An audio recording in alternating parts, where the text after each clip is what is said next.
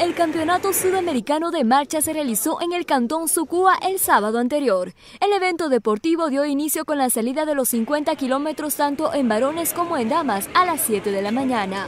El clima acompañó a los andarines de cinco países que estuvieron en la línea de largada, en donde de inmediato a la cabeza se puso el brasileño José Alessandro Bayo, que sin embargo en los últimos kilómetros se había retirado por una molestia, dejando en la punta al ecuatoriano, que se dejaría rebasar luego por el colombiano James Rendón, quien se consagró campeón sudamericano. Desde un comienzo había un reto y era que dos competidores habían escapado del, pues, del lote y eso era una motivación extra para poder continuar y hacerlo cada vez mejor. Nos tomaron una distancia bastante considerable, pero siempre queda la esperanza de que en esta prueba, solamente en los últimos metros, se define totalmente la prueba. Hasta... Una buena competencia brindó el ecuatoriano David Velázquez, quien sacó fuerzas más de las físicas para quedarse con la plateada, y Darwin León de Ecuador también con la de bronce. Desde, desde el comienzo, ya que salimos con, con Brasil, para definir el primer lugar.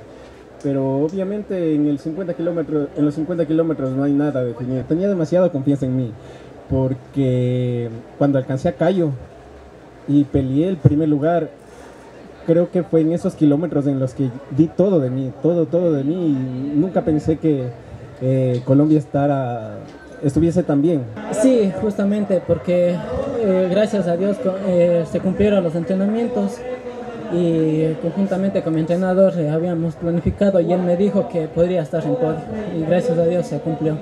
En damas se logró un récord sudamericano por parte de la ambateña Magali Bonilla, quien por primera vez realizaba esta distancia y alcanzó un crono de 4 horas, 19 minutos 43 segundos.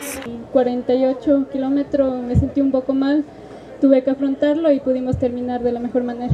Bueno, era uno de los objetivos, ahora eh, el objetivo final es eh, igual desempeñarnos de una mejor manera en el Mundial en el mes de mayo mientras que la cuencana Joana Ordóñez se quedaría con el segundo lugar.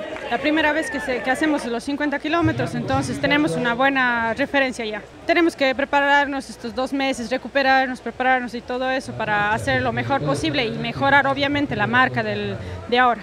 Destacar también el papel del asoyo Claudia Villanueva, quien terminó los últimos dos kilómetros, después de un cansancio que sobrepasó sus límites y llegó en cuarto lugar.